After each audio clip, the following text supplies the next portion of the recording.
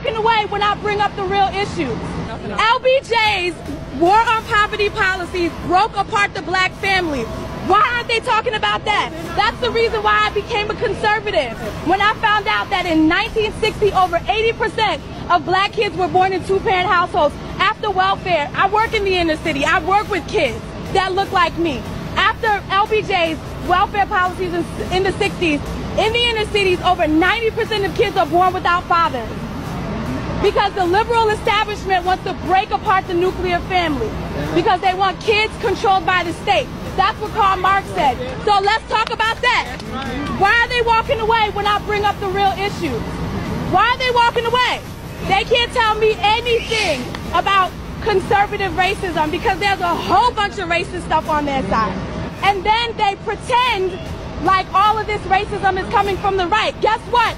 Republicans and conservatives